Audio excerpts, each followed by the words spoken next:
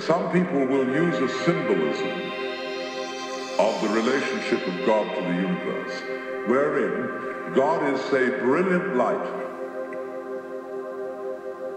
only somehow veiled, hiding underneath all these forms that you see as you look around. So far, so good. But the truth is funnier than that. It is that you are looking right at the brilliant light now.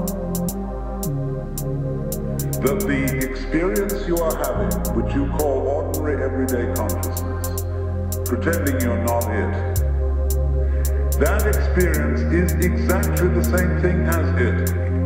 There's no difference at all. And when you find that out, you laugh yourself silly. That's the great discovery. In other words, when you really start to see things, and you look at an old paper cup, and you go into the nature of what it is to see, what vision is, or what smell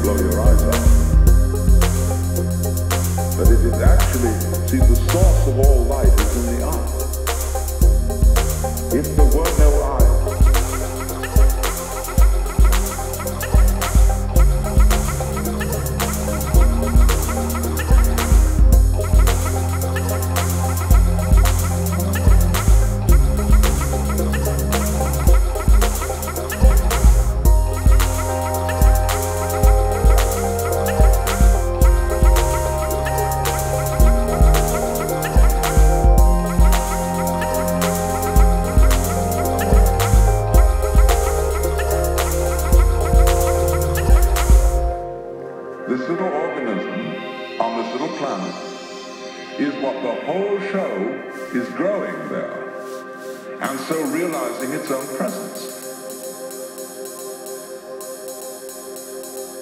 Well, now here's the problem.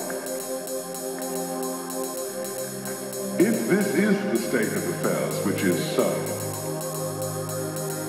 and if the, the consciousness state you're in at this moment is the same thing as what we might call the divine state, if you do anything to make it different, it shows you don't understand that it's so.